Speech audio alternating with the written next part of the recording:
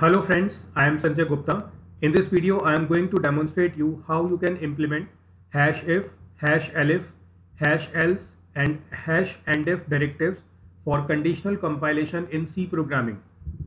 Before starting, you can note how you can search my YouTube channel. You can type my name Sanjay Gupta in YouTube. My channel will be available there. You can watch various programming related videos here. Now I am going to implement all these preprocessor directives in front of you.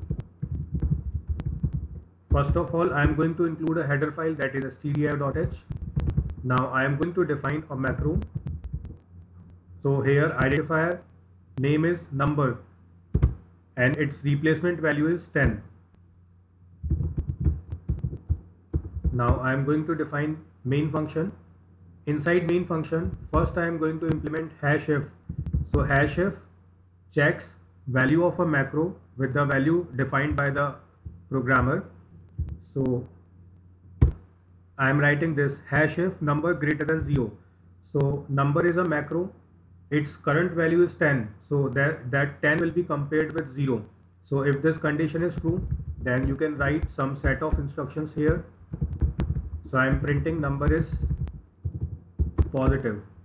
Now if you want to check another condition, so in place of else if you can use hash elif. So hash elif works for both else as well as if. So if the first condition which is available at line number 6 is false then control will be transferred to line number 8 which is implementing else and if together. So here you can write another condition that is number less than 0.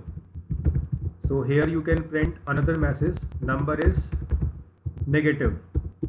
Now if both the conditions are false, it means number is 0. So for that you can implement only else that is hash else and here you can print number is 0. So this way I have implemented all the three cases using hash if, hash elif and hash else.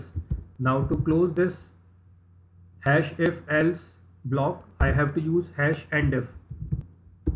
So this way I have implemented all four predefined, uh, sorry, all four preprocessor directives uh, that are implemented for conditional compilation.